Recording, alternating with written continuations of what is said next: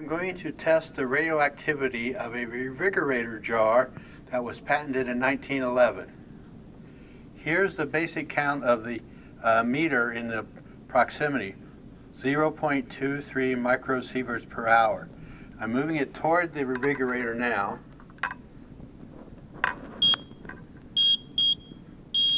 And you see that it's already picking up radiation. Uh, the intent of this device was to uh, put water in it overnight and then drink it the next day to improve your health.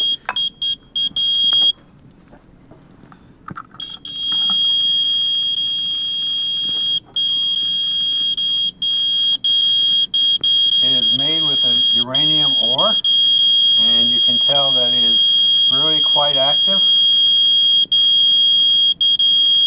And in fact, inside of a few seconds,